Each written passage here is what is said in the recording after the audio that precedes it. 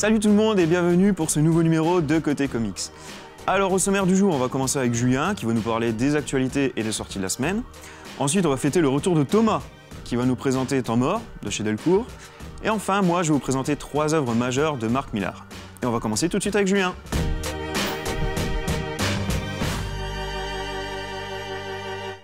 Salut à tous, passons sans plus attendre à l'actualité comics.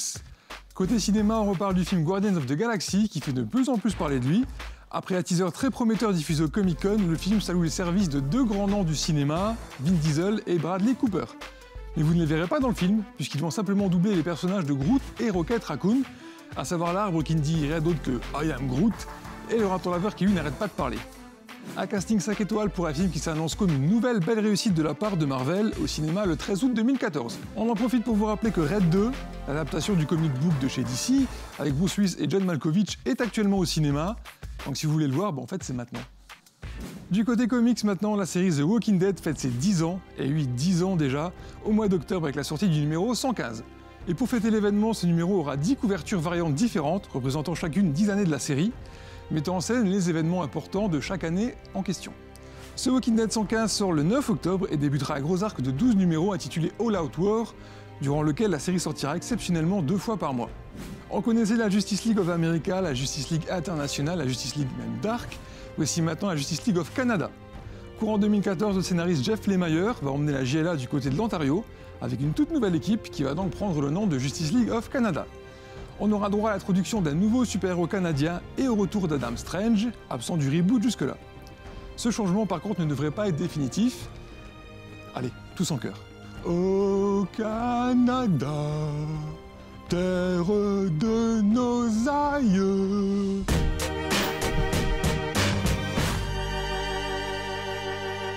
Les sorties comics de septembre, et on débute avec la sortie du mois, une petite pépite indépendante publiée sous le label Vertigo, du nom de Punk Rock Jesus. C'est l'excellent Sean Murphy, dessinateur entre autres de Joe l'aventure intérieure et du tome A d'American Vampire Legacy, qui nous offre ce récit où il est à la fois au dessin et au scénario. Dans l'histoire, une nouvelle télé-réalité voit le jour, autour de la naissance d'un clone de Jésus. On va donc suivre le petit Chris grandir derrière les caméras et au final se rebeller contre un destin tout tracé en se lançant, notamment, dans la musique punk. Une histoire très originale qui aborde de nombreux sujets sensibles et passionnants, servis par des dessins en noir et blanc toujours fabuleux, de très très haut niveau de Sean Murphy. C'est à pur régal, ça sort le 20 septembre et je vous le conseille fortement, si vous n'avez qu'une chose à acheter en septembre, Punk Rock Jesus Ah oui et si vous êtes convaincu par Sean Murphy, ça tombe bien puisque Urban Comics réédite une de ses anciennes histoires, parue en 2005, à savoir Off-Road. Ce n'est pas aussi abouti que Punk Rock Jesus, mais en tout cas on retrouve la patte et le style de l'auteur, toujours très agréable. Grant Morrison revient avec une mini-série indépendante intitulée Happy, publiée par Delcourt. Ex-flic ripou reconverti en tueur à gages, Nick Sachs vient de frôler la mort et a une tonne de problèmes sur le dos. C'est à ce moment-là que lui apparaît une petite licorne bleue nommée Happy qui sort de nulle part et qui va tout chambouler. Un récit très sympa et décalé, à la fois drôle mais aussi très sérieux et violent, qui change du Morrison cérébral que l'on connaît. Derek Robertson est au dessin pour une sortie le 18 septembre. Panini continue la réédition du run Dead Brubaker et Steve Epting sur Captain America avec le deuxième tome de luxe intitulé L'hiver meurtrier. Il s'agit de l'histoire qui introduit le soldat d'hiver, et c'est donc de ce comics que s'inspire le prochain film Captain America The Winter Soldier. C'est une des histoires les plus importantes dans la mythologie du Captain et aussi une des plus audacieuses et surprenantes. C'est excellent et c'est à lire si ce n'est pas encore fait, sorti le 11 septembre. En vrac, beaucoup de tomes 2 pour ce mois de septembre avec notamment celui de Saga de Brian Cavogan et Fiona Staples qu'on a déjà présenté et qui est magnifique. On a aussi Conan le barbare de Brian Wood, le tome 2 de la série Action Comics de Grant Morrison ou encore la suite et fin de Planet Hulk on notera aussi la sortie de Red Son, Superman Red Son chez Comics, dont Jeff vous parle juste après dans le tout sûr. On finit avec le dernier numéro du premier arc d'un comic book purement Laura, à savoir Bertrand Kefterian, le fameux chasseur d'aliens dans la ville de Metz. Pour l'occasion, il y aura une magnifique couverture de Gérard Parel, le dessinateur français de Marvel.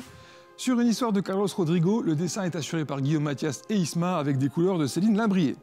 Édité chez Philactère pour le papier et Web Ellipse pour le numérique. Ça sort le 14 septembre, et notons que l'équipe sera en dédicace au livre sur la place à Nancy du 13 au 15 septembre. C'est déjà tout pour l'actu et les sorties comics, j'espère que ça vous a plu. On se retrouve pour la prochaine émission, salut à tous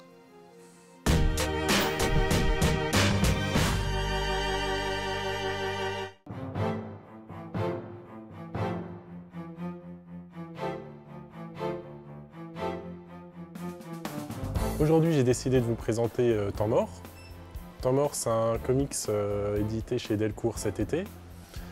Euh, c'est une nouvelle série, donc c'est euh, scénarisé par McKen et dessiné par Esquizzo.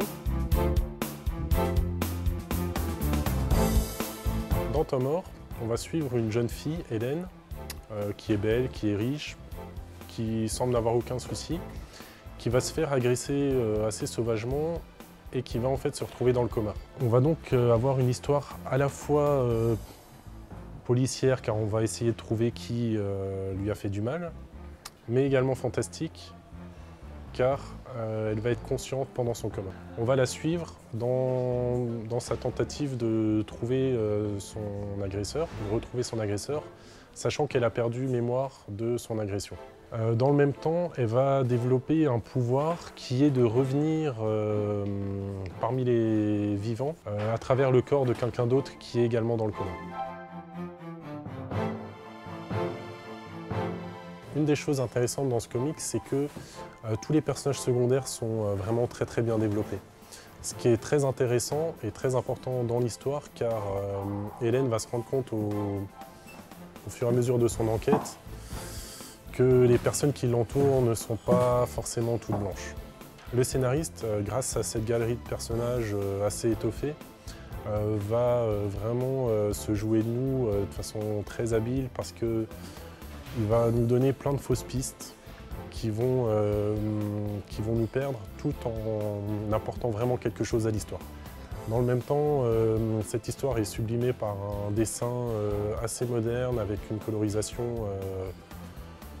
très moderne également, assez peut-être un peu flashy par moment, mais qui est, qui est assez intéressante.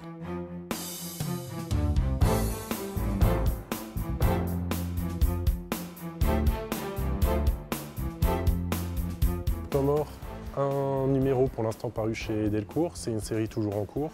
La suite devrait pas tarder à sortir et c'est mon conseil de la semaine.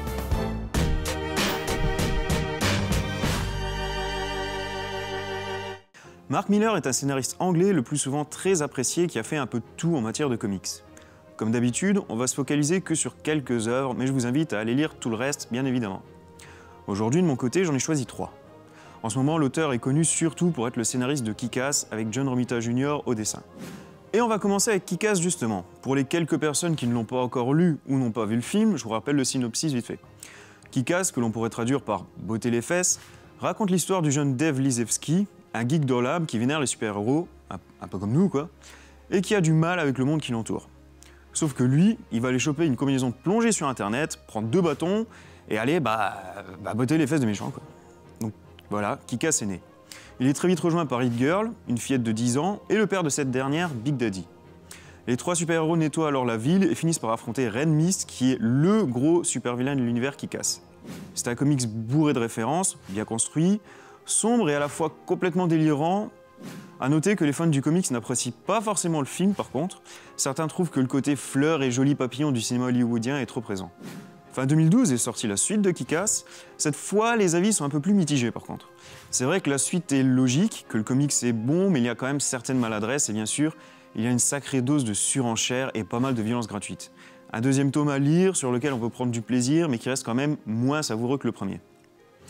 Pour terminer avec l'univers de Kick-Ass, je vous rappelle qu'il y a un spin-off, Hit Girl, sorti dernièrement chez Panini Comics et dont on parlera prochainement. Deuxième comics, Allman Logan, édité chez Panini Comics toujours. Bon, on va le dire d'emblée, c'est LE comic sur Wolverine à avoir. L'histoire est excellente, les dessins sont très très bons et le tout est hors continuité. C'est pas beau tout ça quand même? On retrouve notre ami Logan 50 ans plus tard, plus de super-héros et plein de super-vilains à travers tous les États-Unis. Logan a bien changé, il ne veut plus être appelé Wolverine et encore moins combattre. Il vit avec une petite famille, se fait manipuler, se fait harceler par la progéniture d'Hulk. Bref, on l'a déjà vu un peu plus. euh, Bien sûr, après, il va changer d'avis et défoncer tout le monde. L'une des forces principales de ce récit est le côté futuriste, très très bien pensé. Ce n'est pas abusé, ce n'est pas illogique non plus. Non, c'est vraiment pas mal du tout. Ajoutez à cela de très bons dessins de Steve McNiven, beaucoup d'émotions, du suspense et des retournements de situation des plus impressionnants. En gros, il faut vraiment les trouver, quoi, les points négatifs. Dernier comics de Miller pour moi, Superman Red Son, réédité cette fois chez Urban Comics. Alors ce One Shot est un what if, un principe que je vous avais déjà expliqué dans une autre émission. Traduisez ça par et si, trois petits points. Dans ce cas-là, c'est et si la fusée de Clark ne s'était pas écrasée aux États-Unis, mais si elle s'était écrasée dans une ferme en Ukraine en 1938 Mhm. Bon, je suppose que vous avez compris avec le titre Red Son, donc fils rouge, Clark grandit alors que le régime stalinien et les idées qui vont avec sont omniprésents. Superman devient alors le héros des travailleurs et la plus grande fierté soviétique. Bon, les what if, moi, euh, j'adore, mais c'est pas pour ça qu'ils sont tous bons, c'est même très loin d'être une règle d'or. Mais Superman Red Son vaut vraiment, vraiment le coup. Je sais que je l'ai déjà dit pour les deux autres comics, mais c'est encore une fois le cas là. Red Son est un comics à avoir. Le what if est très bien exploité, le scénario est très bon, il y a pas mal de personnages de DC, pas mal de retournements de situation, les dessins sont au top et Superman a enfin un costume qui ressemble à quelque chose. Bon, encore une fois, ce n'est que mon avis. hein. Certains sur Internet trouvent Red Son très surestimé.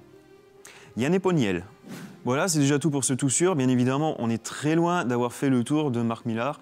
Mais bon, je pense qu'avec ces trois-là, vous avez déjà de bonnes lectures devant vous. C'est également la fin de l'émission, oui déjà, mais on se retrouve très vite pour des aventures encore plus comiques. D'ici là, soyez sages, lisez plein plein plein de comics parce que sinon ce qu'on fait ça sert à rien. Et on se retrouve très bientôt. Ciao tout le monde